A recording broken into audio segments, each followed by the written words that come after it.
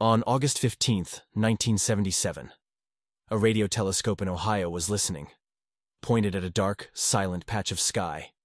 For years, it heard nothing but the endless hiss of the universe. And then, for the first and last time, something spoke back. For exactly 72 seconds. Not more. Not less. The signal was powerful, precise. A narrow-band transmission.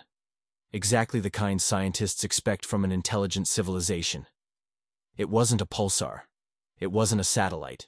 It wasn't anything natural we've ever recorded. When astronomer Jerry Ehman reviewed the printout, he froze.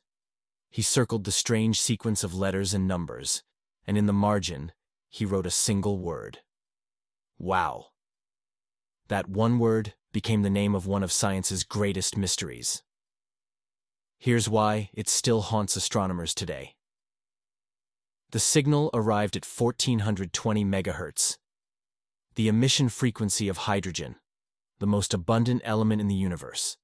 Scientists call it the water hole, a quiet channel in the cosmic noise, the frequency you'd choose, if you wanted to say hello to another civilization.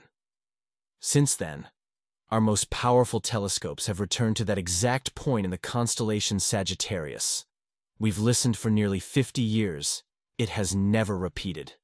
Maybe it was interference. Maybe it was a cosmic coincidence. Or maybe, for just 72 seconds, someone tried to reach us. A message heard once, and never again. Stay curious.